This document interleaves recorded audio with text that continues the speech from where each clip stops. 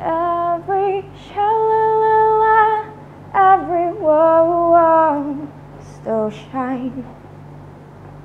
Every shing-a-ling-a-ling that they starting to sing so fine. อิมเมจจาก small room ค่ะ I'm in a lucky passing in a lucky ชีวิตวัยเด็กอะคุณพ่อคุณแม่ฟัง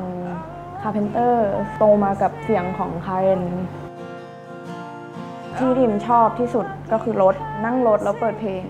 สมมุติว่าเรานั่งอยู่บ้านฟังเพลงเนี้ยวิวมันก็เหมือนเดิม เราก็ไม่จำเป็นจะต้องมองไง แต่พอนั่งรถแล้วแบบว่าเออเรามองออกไปแล้วมันมีการเคลื่อนไหวผ่านตึกต้นไม้ปลิว มันทำให้แบบเรารู้ว่าบรรยากาศแบบเนี้ยเปลี่ยนเพลงปุ๊บบรรยากาศก็เปลี่ยนอีกอะไรเงี้ย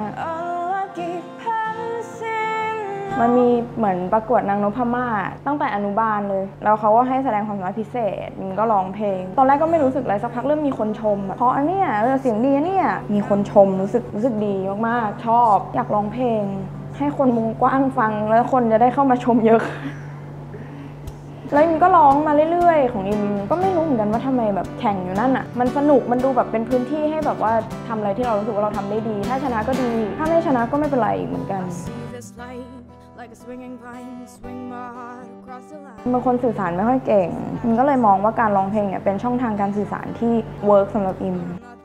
อิมว่าเสียงทุกเสียงที่เราได้ยินอยู่ตอนนี้มันสำคัญ แล้วดนตรีก็เป็นเป็นหนึ่งในเสียงนั้น บางทีเราฟังเพลง ถ้าเราเศร้าเราอกหักเราฟังเพลงเศร้าเรารู้สึกว่าเรามีเพื่อนเรารู้สึกว่าเนี่ยเพลงเนี้ยเข้าใจเราอิมว่าเพลงมันอยู่ในทุกช่วงของชีวิตของทุกคน แล้วแต่ว่าช่วงไหนจะเป็นเพลงไหน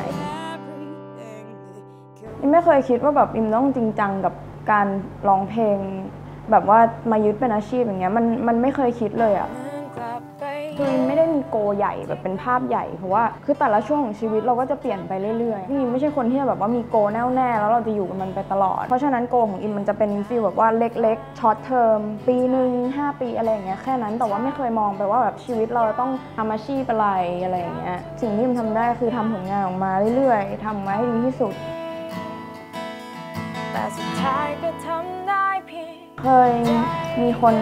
เขาอะเคยเล่นไวโอลิน แล้วเขาก็หยุดไปเลย เขาเห็นอิมดูเหมือนเป็นแรงบันดาลใจทำให้เขาอยากกลับมาเล่นดนตรีอีกครั้ง เป็นความรู้สึกที่ดีที่เราสามารถอินสปายอะไรให้คนคนหนึ่งได้ ไม่ค่อยอยากบอกว่าอิมเป็นศิลปินแบบมืออาชีพอะไรอย่างเงี้ยอิม ชอบที่จะคิดว่าอิมเป็นสมัครเล่น ที่ทำอยู่ก็โอเคนะ แต่มันดีได้อีก มีคนร้องเพลงกลับมาหาเรา รู้สึกแบบเฮ้ยเรามาถึงจุดนี้แล้วหรอ ที่คนร้องเพลงของเราได้ เหมือนฝันไปอะ เหมือนเราเซตโกไว้แล้วเราทำได้ มันก็รู้สึกว่าเราแบบ accomplish something ก็จะทำแบบนี้ไปเรื่อยๆทำสิ่งที่ทำอยู่ไปเรื่อยแล้วก็หวังว่าทุกคนจะยังชอบอยู่ คิดว่าการชอบอะไรบางอย่าง มันไม่ใช่การที่เราตื่นมาแล้วรู้สึกเราอยากจะทำแบบนั้นแบบด้วยความรู้สึกที่แบบชัดเจนมากๆ มันเป็นฟีลแบบประมาณว่าเอ้ยว่างอะทำอะไรดี แล้วอยู่ดีก็ทำสิ่งที่เราชอบขึ้นมาเลย ถ้าถามว่าความรู้สึกแบบนั้นมีอยู่ไหมมีอยู่ทุกวัน